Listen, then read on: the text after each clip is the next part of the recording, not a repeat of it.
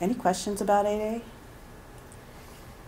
Yes, I, I, once I was uh, looking into it, but the, and uh, one SBA um, lady was telling me that, oh, I'm sorry to hear that. Oh, the architects and engineers are having highest unemployment rate. I'm really hearing you. Mhm. And then next statement she said, 8A is not for you. And then when I Yeah. talk to somebody else, and then they say, you know, you should apply 8A.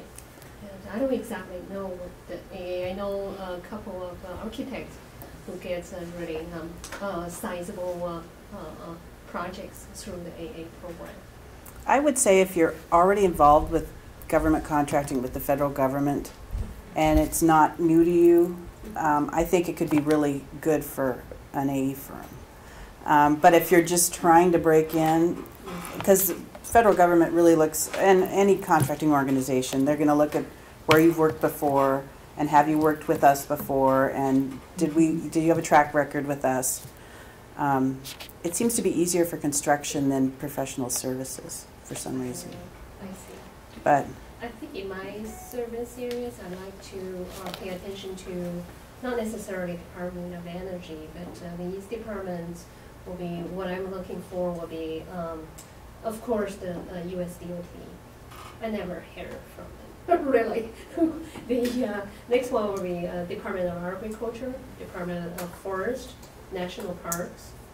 And I have a really questionable about the Department of Homeland Security. So Mhm. those are departments, and what do you think their utilization rate would be? That would be my question. that's a good question. I don't, that would be the kind of research that, I need to dig yeah. into it. Thank you. I'm sorry, I can't give you an exact answer, but it's out there somewhere. Right, right. Yeah. Right. So, Thank you, yeah. mhm. I have one question. We, eight A, I heard, I've heard from friends of mine that were on it, they said, okay, I go ahead, I get the certification, and I'm small, and then they offer me jobs that are so big, I can't bond it. You know, and I've heard this from guys that, you know, said, went through all the process, got certified, and then they'd say, well, gee, there's no job small enough that I can work because they're offering me jobs that are so big that they want you to bond it, and I'm just starting. So it's kind, is it catch twenty-two, or am I hearing this, or is it just isolated instances, or? I think it's probably can be true. Um, SBA has developed a new program to kind of deal with that. It's called the Mentor Protege Program. Mhm, mhm. And what that is, is an 8A, as the protege, can hook up with any other business. It can be a large business, a small business, a medium sized business. And they develop a mentor protege agreement. And where the large business is going to help develop the protege. And once they develop this relationship, and it's approved by SBA, they can bid on a joint, as a joint venture on 8A projects that are larger and not and still be considered a small business, even if they're hooked up with the A town. large. Yeah, yeah, and and it's it's coming along. Uh, we've seen some firms just do fantastic at it, but it really has to be a good marriage of the mentor and the protege, and it has to be. We, we watch it very carefully to make sure it's not We've something done it isn't. Yeah, we've done it as a, I call it a redheaded stepchild kind of thing with a, you know, here, we'll help, we're large electrical, we're gonna help you, we're gonna give you this little piece.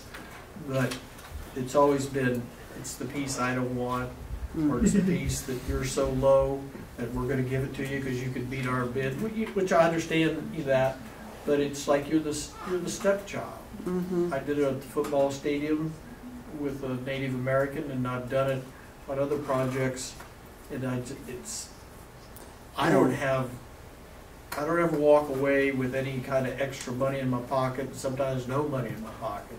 So I'm not Mhm. sure, maybe this is Yeah, different. well, this is, it's different because the 8A has to be in charge.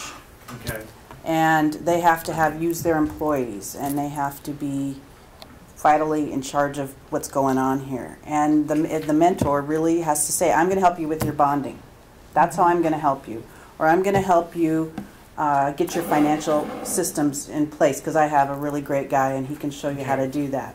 Um, that's the kind of detail that we get into before we approve an arrangement like that. And they have to come out with the required percentage of profit, you know, depending on what they agreed to at the beginning that we approve. So it's quite monitored. Um, That's better than, mine has never been eight A, mine's just been, well, we need you, yeah, come on down. yeah, but um, the 8A is supposed to benefit. That's Okay. the whole purpose. Thank you. What's the criteria to become uh, qualified for The The mentor, the, no, AD program?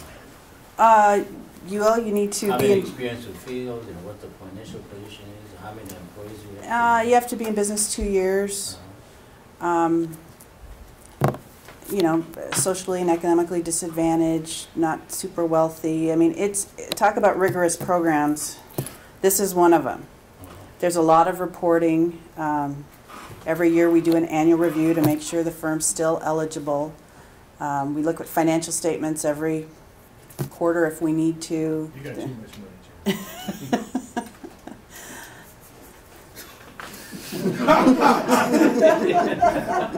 Well, there you go. That's why we need your input to national, to tell them that the net worth needs, needs to go up. I, I think it's at seven hundred and fifty thousand net I worth. think so, but now they're allowing lots of reductions out of that. Yeah, the DBE program is one point, one point two, two three, and I think they're even thinking of raising it, it's- it's excluding your primary Primary residency and any ownership interest in the applicable firm, so you. Yeah, we have that too, and we also let them take out their IRA or Oh. 401K. Mm-hmm. Don't want to penalize people for saving for retirement. God bless you.